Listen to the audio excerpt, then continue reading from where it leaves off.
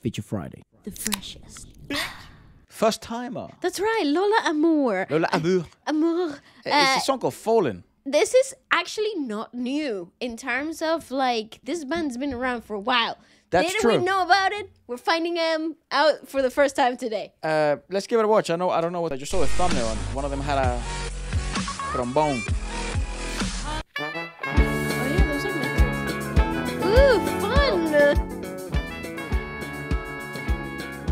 Ooh, a saxophone Efra.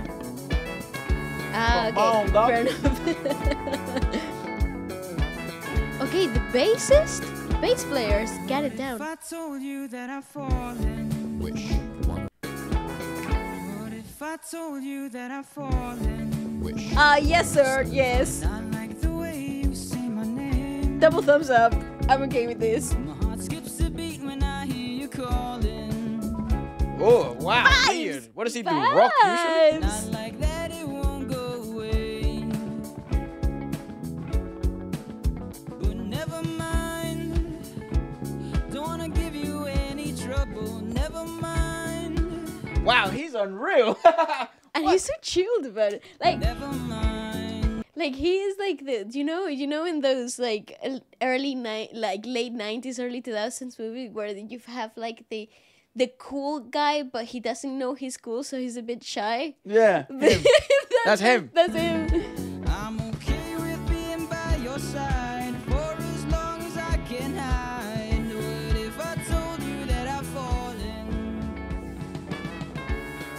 This is so good.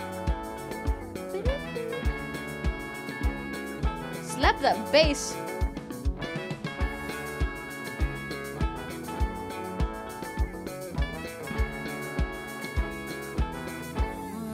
I told you that I've fallen? I also feel like this isn't the genre. I feel like thi- this is something, um, a new experimentation, perhaps. Because I feel like that guy, he would be so good at alternative rock. Totally. And I feel like he they do alternative rock. yeah. Maybe I the, totally the, the metal section is like special invitation. No, um, uh, maybe. You know, or maybe that's I know all what you mean. I- like this is a special arrangement. I don't like, uh, know, but it it because It, it, just adds so much to it, though. It gives it this like, mm, like ska feel. it would be so weird if this is like something like a different Lola Amour song. Yeah, and in comparison the- to what they usually have as a sound, but it's like one of their best. This is so great, though. unreal. This is fabulous. Arrow my Go back to that arrangement.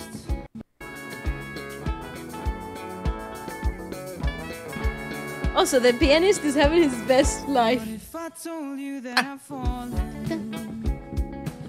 I love that.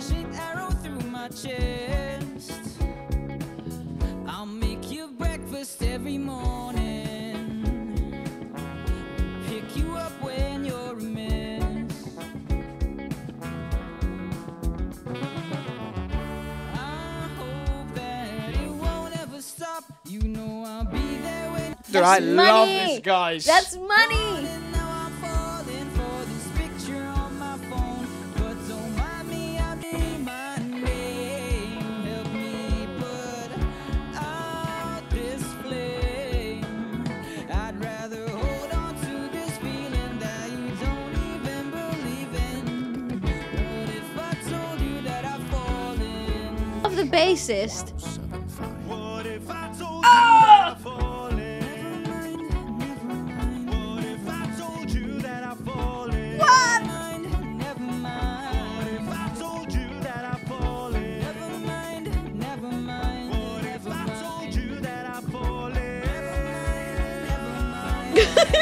They do rock. they have to do rock.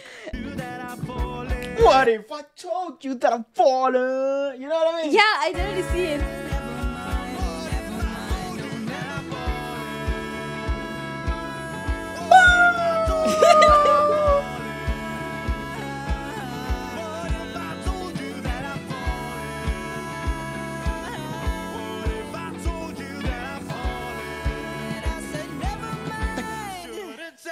That I'm falling.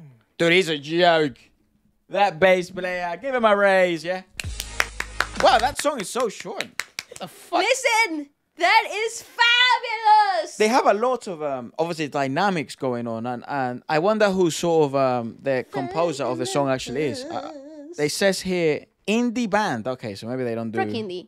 maybe Indie do rock, indie maybe. Who knows? Um, indie band Lola Amour performs "Falling" live at the Wish Bus. The song, which is based on a real life experience, is about trying to confess your feelings, only to get things quite complicated. Hmm. According to vocalist and songwriter Pio Dumayas, uh, or Dumayas, Dumayas, I think. The song isn't about falling in love. It's about setting.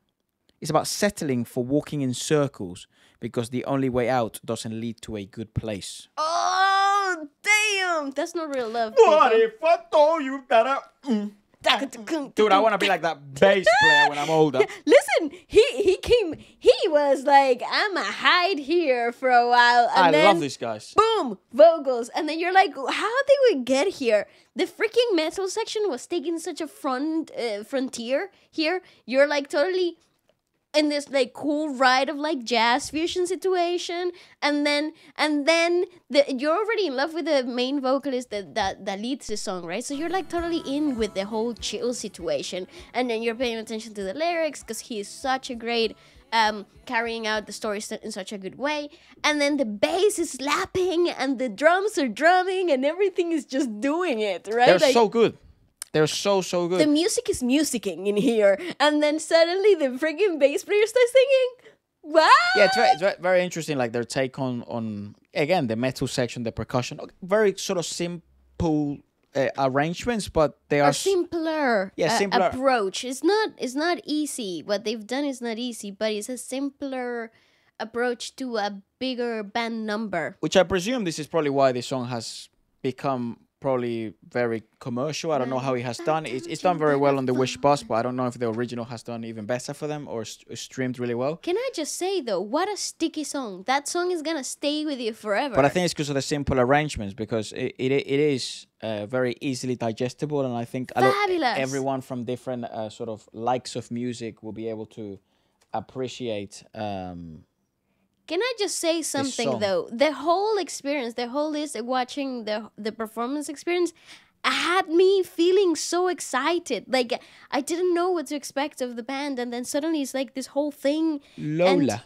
it's so colorful. I'm Lola, sweating. Lola Amour is a Filipino rock band. I fucking knew it. Uh, that dabbles into the genre of modern rock, funk, and pop. The band consists of Pio Dumayas, which is the lead vocalist and the composer, Martin Kim on the background vocals and keyboard, Raymond he King also sings cool.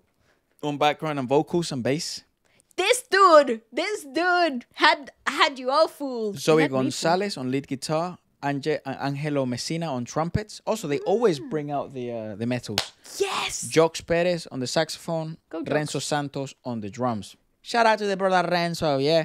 Uh, they also introduced three sessionists into the band as regular performers Jeff Abueg on the saxophone, Rafi Rafi Perez. Perez on drums. Shout out to Rafi, yeah. Uh, and Manu Dumayas on trumpet. Oh, his brother, Pio Dumayas. Or maybe they're brothers from another mother. No, You I- never know. Okay. They've had uh, some past members and they came out yeah, 2013, mate. Oh wow! Look at that. So they've been doing it for a little while. They've been doing it for a while. See, they they're not new, and Coke you can Studios tell. But Philippines. how awesomeness! I love this song. This song is dope. I love that the fact that you get to discover something new through through the journey of the song itself. Like, I love that discovering aspect of it all because the song was fabulous at the beginning, and then as it develops, the more you fall in love with it. It's really great. It has such brilliant dynamics. The lyrics? Don't you tell me that I've fallen. I love this section because I'm already freaking whipped. What if I told you that I've? And then this guy comes in. Told you that I'm fall. I shout out to Lola Amour.